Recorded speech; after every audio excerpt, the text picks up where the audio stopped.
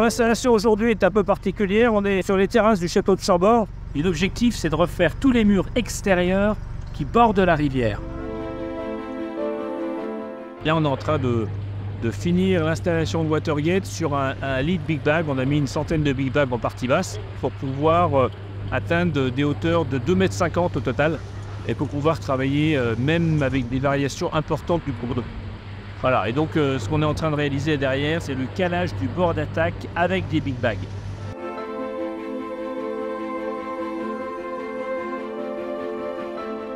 Watergate a été installé sur une première section de 45 mètres autour d'un échafaudage. On est en train de faire l'épuisement, il faut à peu près euh, une demi-heure pour assurer l'épuisement avec une pompe de 280 mètres cubes.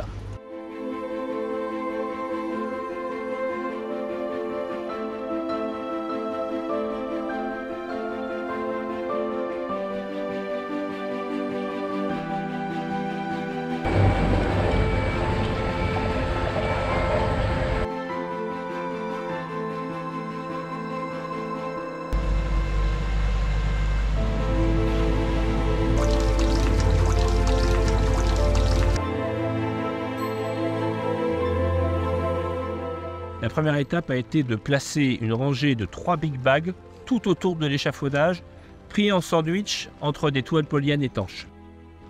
Deuxième étape, on a remis une toile étanche euh, qui permet de passer au-dessus des big bags, qui descend le long du big bag et qui court dans le lit euh, de la rivière. Dernière étape, on pose Watergate dessus, par-dessus tout ce dispositif. La charnière bien calée contre l'échafaudage. Et le bord d'attaque, lui, va descendre dans le fond de la rivière et il est calé par des big bags qui viennent prendre la toile Watergate en sandwich entre les deux. Comme ça, l'eau, en fait, n'a pas de chemin et ne peut pas euh, venir vers le dispositif sur lequel on travaille. La spécificité de cette installation, c'est que Watergate est posé sur un lit de Big Bag. La toile peut encore s'élever d'environ 80 cm, donc même avec une variation assez importante du cours d'eau, le dispositif permet de travailler jusqu'à l'affouillement.